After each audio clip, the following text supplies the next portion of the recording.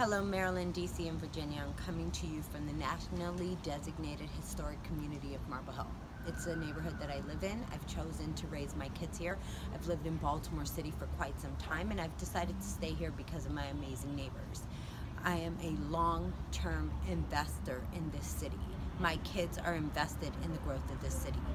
I'm making this video to really talk about responsible development and what's going on in Baltimore City.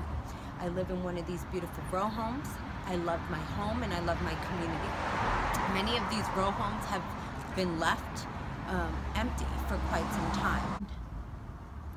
Why responsible development? Because it's important to us. We've invested here in the Marble Hill community.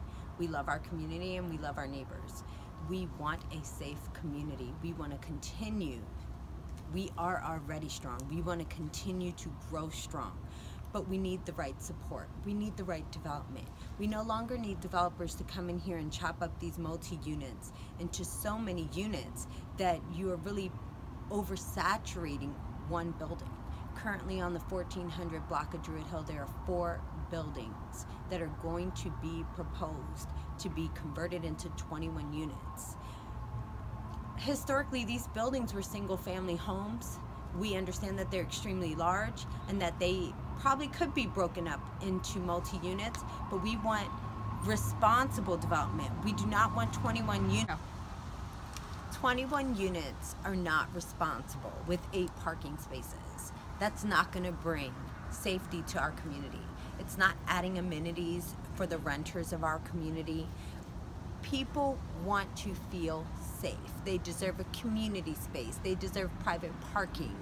They deserve a concierge, something that would make them want to stay investing in our city. So I'm asking our councilman, Eric Costello, to please stand with the current investors, the residents of Marble Hill, move our city forward, find the right development for us, for our community. We want young families, we want young professionals, we want students. We want them to come and stay. So we ask you, Mayor Catherine Pugh, please look into this project. It is not a safe, good project for Marble Hill. Um, we want to ask Jack Young to look into this project. It is not safe for our community. We want to move forward with growth. Baltimore deserves better. Um, I want to thank Maryland State for providing dollars through the CORE program for our master plan for home ownership. And um, I want you, everyone who sees this video, to really look into the Marble Hill community. It is a beautiful place. There are amazing people here, and we love our city. Marble Hill is an incredible place, an incredible place of true history. Thurgood Marshall, Lillie Jackson, Clarence Mitchell are just a few people that have come out of this community. And we know that your kids can grow up here and be great too. So we ask you to come here, think about home ownership. There's many programs in Maryland. And I just want to say thank you to Maryland. These are currently the four row homes that have been under the developer's arms for five years. Five years and he has not even fixed the steps. This is not responsible development. 21 units in these four buildings are not responsible.